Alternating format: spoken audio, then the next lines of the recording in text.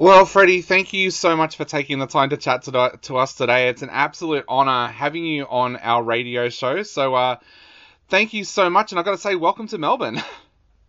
Thank you very much. Yeah, I, I just landed like a couple of hours ago. So it's lovely to be here, but much colder than I was expecting.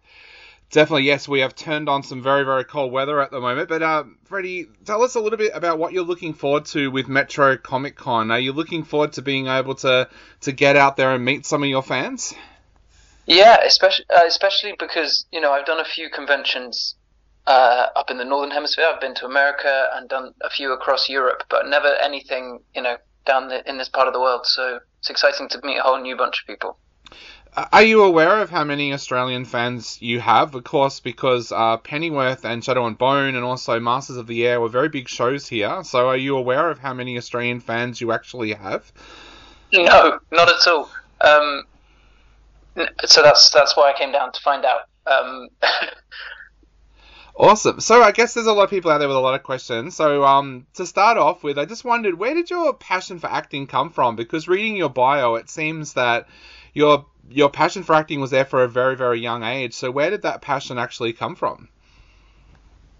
Um, I was very lucky that when I when I was younger, I had amazing teachers, uh, kind of English teachers and drama teachers, who just kind of really kind of supported and encouraged any curiosity to do with the arts and to do with acting. And I just I just got lucky, I guess, that that, that they were my teachers, and you know, threw myself in headfirst into school plays and you know youth theatre and all of that stuff. So yeah, just it just started from there, and I kind of fell in love with the idea of it being like a team sport. You know, yeah, everyone's in it together, working together towards one thing.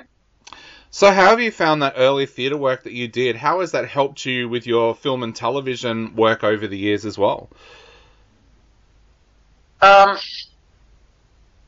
I'm, I guess I guess there's a, there's an immediacy to theatre. You know, there's an immediate response which is totally different to film and TV. But that collaborative thing, that team sport, sort of spending six weeks in a rehearsal room with a group of people and then sharing that story with the world is not that's not dissimilar to working for six months on a TV show with a you know the same group of people and then sharing it with the world. So I think that that's the thing that I really enjoy about my job, and um, yeah, hope I get to do it for a long time. Definitely. Well, once upon a time here in Australia, you rarely saw theatre actors do television, and you certainly didn't see television actors do theatre. But nowadays, yeah. a lot of the big theatre productions that we have here in Melbourne have um, television and film stars in them. Is theatre something that you'd like to do more of in the future?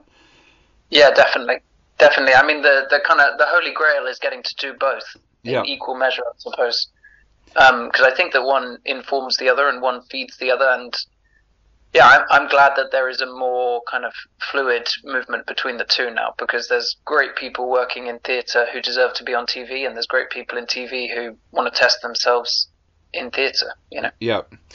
So, when you first started to do television and film, one of your first films, of course, was Wonder Woman. Um, what was that like walking onto a film set like that and seeing the the scale of of that production? What was that like for you as an actor? Yeah, a, a bit overwhelming to be honest. It was. It's one of those sort of you're such a small cog in a huge, huge machine. I would say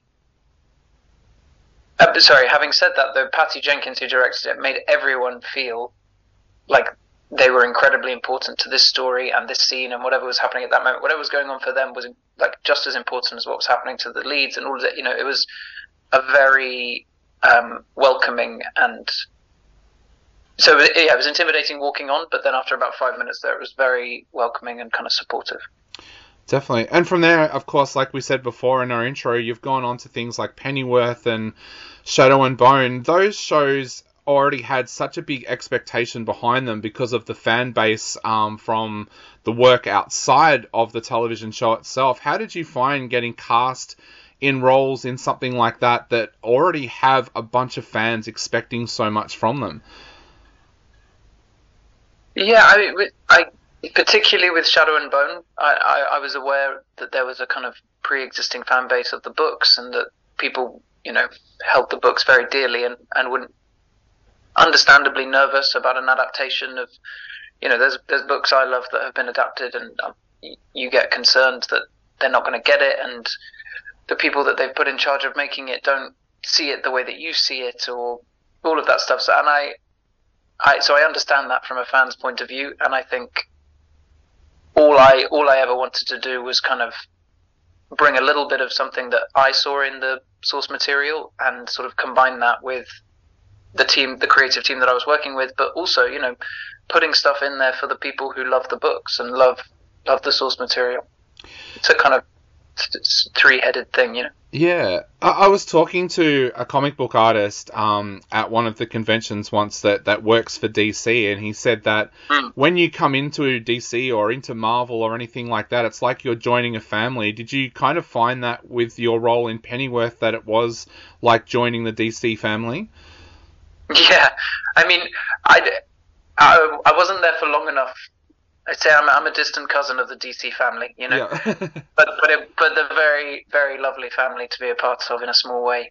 Um, yeah, all the all the cast and crew on that were great. Really, they'd been filming for a little bit by the time I joined, so they were up and running and sort of took me under their wing. But they were great. Yeah. Now you also feature in one of my favorite shows from the last few years, Masters of the Air, which I thought was just a an absolutely um, brilliant show, and I was lucky enough to be able to see the first two episodes on the big screen as well, which was oh, um, yeah. amazing. Well, tell us a little bit about that for you, because that is such a an important television show um, about an historical event that actually happened. What was that like for you being part of Masters of the Air? I'd say it's probably the most excited I've ever been to get a job because I, I grew up watching Band of Brothers and The Pacific, and it's obviously the same creative team, executive producers, and uh, production companies who made it. And then also, you know, with Cary Fukunaga, I'd I'd loved his films for a long time, so working with him was so you know all of that added up to make it one of the most exciting jobs, kind of one of the most exciting phone calls to get, saying you, you're going to get to be a part of it. And then and then the making of it was sort of similar to uh, Wonder Woman in that the scale of it, in terms of TV, was bigger than anything I've ever seen.